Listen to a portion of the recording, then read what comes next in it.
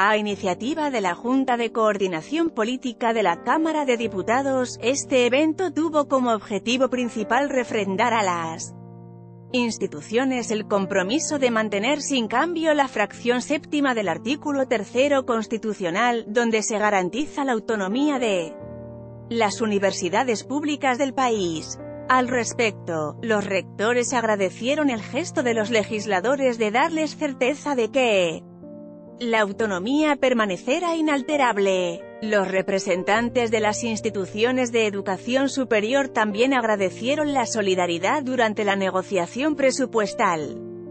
finales del año pasado, para dotar a las universidades del país de recursos suficientes en el presupuesto de egresos de la Federación 2019, los rectores y directores reiteraron su compromiso con el reto de aumentar la cobertura educativa para que ningún joven se quede sin estudiar. Sin embargo, las autoridades educativas manifestaron su preocupación por la propuesta de la gratuidad debido al impacto que tendría en las finanzas de algunas universidades. Asimismo, plantearon explorar esquemas de asignación presupuestal que brinden mayor certidumbre en los siguientes años y permitan la planeación del crecimiento de la matrícula, para poder cumplir el reto de aumentar la cantidad y la calidad de la educación que ofrecen, así como considerar dentro de estos esquemas la corresponsabilidad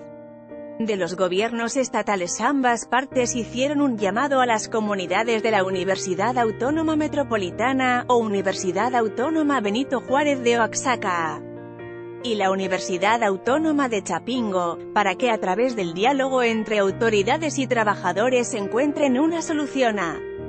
los conflictos que actualmente atraviesan. Al encuentro con los coordinadores parlamentarios estuvieron presentes, entre otros, los rectores de la UNAM.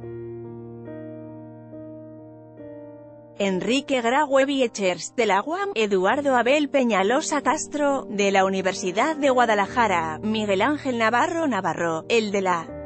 Universidad de San Luis Potosí, Manuel Fermín Villarrubio, de la Universidad de Veracruz, Sara Deifilia Ladrón de Guevara González.